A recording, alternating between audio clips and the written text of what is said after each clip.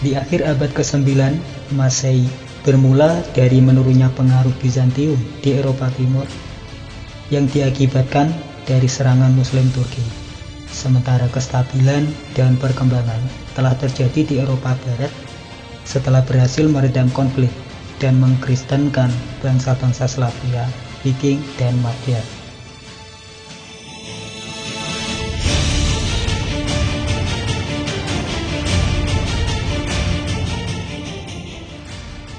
Pada tahun 1074 Masehi. Kondisi kekaisaran Bizantium sedang terancam akibat invasi dari kaum muslim Turki. Maka, Kaisar Bizantium yang saat itu dipimpin oleh Michael VII Doukas meminta bantuan kepada Paus Gregorius VII untuk mengerahkan pasukan bantuan guna menahan laju invasi kaum muslim Turki akan tetapi belum ada tindakan berarti dari pihak Paus.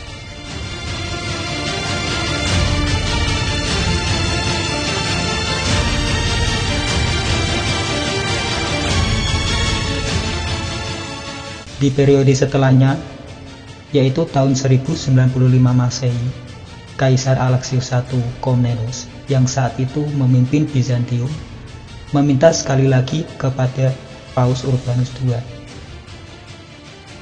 Permohonan Kaisar Alexius I Komnenus diterima oleh Paus Urbanus II. Sekaligus, inilah penyebab yang melatar belakangi terjadinya perang salib yang konon menjadi perang religius terbesar sepanjang sejarah yang melibatkan dua agama besar di dunia, yaitu Muslim dan Kristen.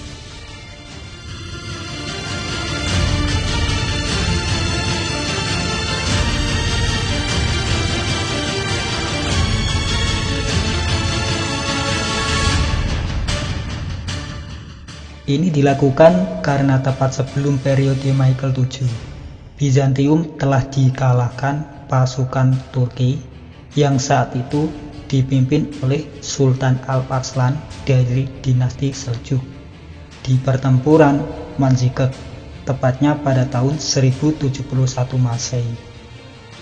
Sedikit saya akan memberi penjelasan tentang pertempuran Manzikert ini.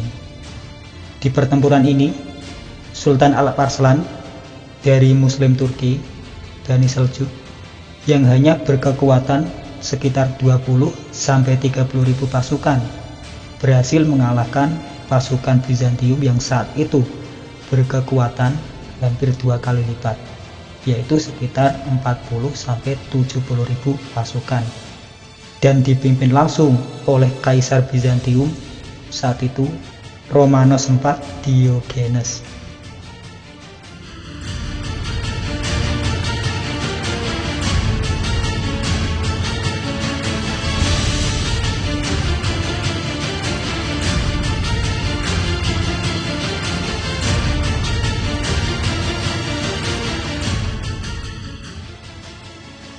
Jika kalian belum tahu Romanos IV ini, ia adalah kaisar yang menjabat sebelum dikudeta dan dihianati oleh keluarga Doukas.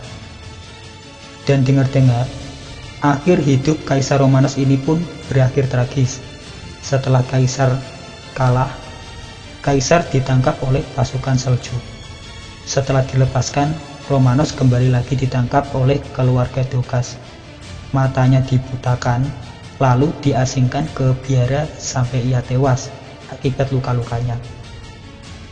Akibat kekalahan di pertempuran Mazikert ini, Bizantium kehilangan sebagian wilayah di Asia Kecil, tepatnya wilayah Turki saat ini. Akibat ini pula, Eropa Barat khawatir dengan kemunculan dinasti Seljuk yang semakin lama semakin meluas.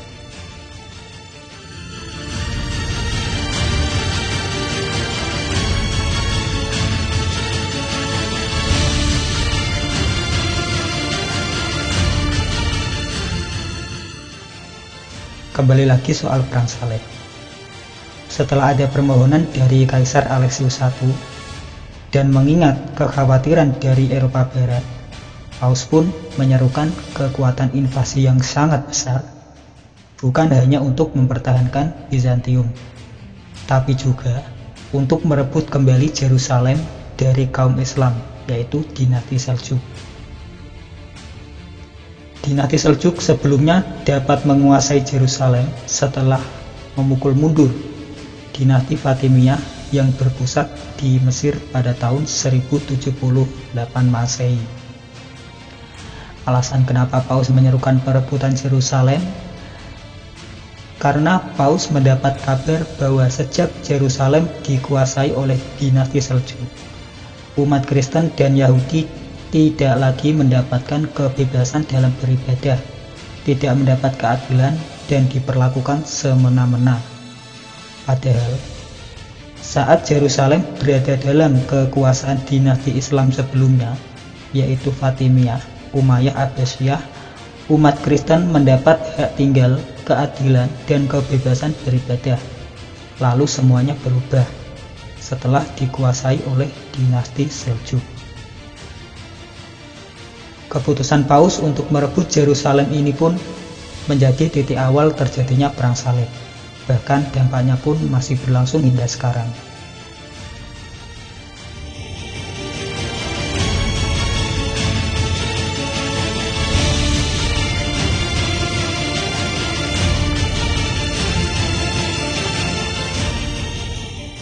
Di atas adalah penjelasan singkat tentang awal mula terjadinya perang salib yang melegenda itu. Di video berikutnya, admin akan menjelaskan tentang beberapa periode selama perang berkecambuk, yaitu yang dimulai dari Perang Salib pertama yang terjadi antara tahun 1095 sampai 1101 Masehi dan seterusnya dalam Perang Salib part 2. Itu saja yang bisa saya sampaikan. Semoga menambah wawasan kita tentang sejarah Perang Salib. Jangan lupa subscribe like, dan komen untuk mendukung channel baru ini agar bisa berkembang. Dan juga jangan lupa kritik dan saran agar membantu kami menjadi lebih baik dalam menyampaikan ke depannya. Baiklah, selamat beraktivitas dan sampai jumpa di video berikutnya di channel Babat Donya.